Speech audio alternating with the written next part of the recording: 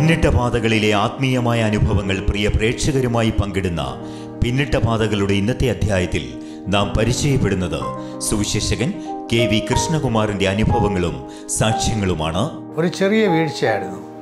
പക്ഷേ ആ വീഴ്ചയ്ക്ക് ശേഷം ഞാൻ എഴുന്നേറ്റപ്പോൾ എനിക്ക് ഒന്നും കാണുന്നില്ല. എനിക്ക് കണ്ണിൽ ഇരുട്ട് കയറിയ പോലെ ആയിപ്പോയി. മറക്കാതെ കാണുക പിന്നിട്ട പാതകൾ.